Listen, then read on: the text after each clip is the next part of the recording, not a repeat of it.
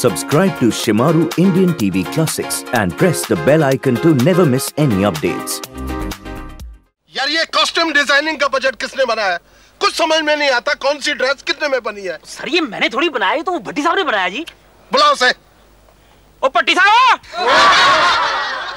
ओ यार आवाज़ तो तमीज से लगाया करो। सारा इंप्रेशन खराब हो जाता। है यार मैंने तो साहब कह के बुलाया। मैंने कौन सा कहा पट्टी यार छोड़िए साहब सू इधर बैठो भाई साहब।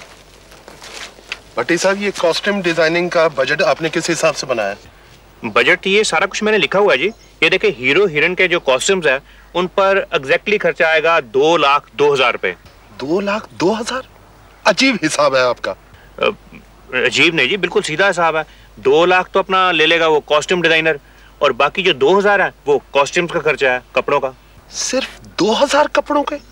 सर, हीरो तो अपना सारी फ़िल्म में बनियान डाल के घूमता रहता है। और हीरोइन को अगर एक आध बार पूरे कपड़े पहनने पड़ भी गए तो वो किराए पर ले लेंगे, दो ढाई हज़ार में।